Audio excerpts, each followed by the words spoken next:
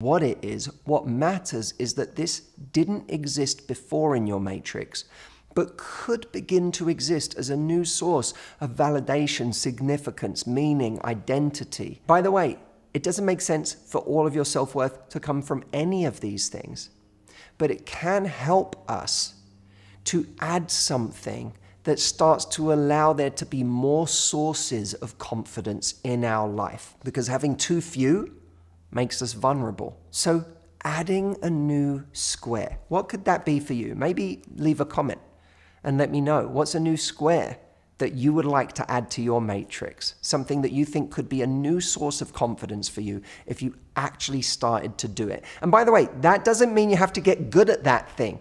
It doesn't need to be something you get good at to become a source of confidence.